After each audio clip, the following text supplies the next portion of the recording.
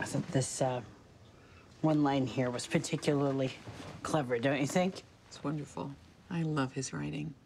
And Dorothy Parker as well. Caustic wit, you know? Caustic wit is my religion. I can't carry it off. You certainly can.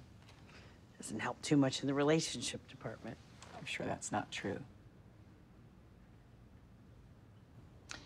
Okay, should we settle up? Yeah?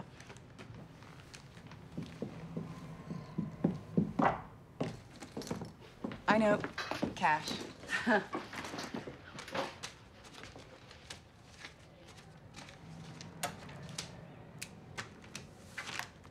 Uh, this has my number, well, the number of the store.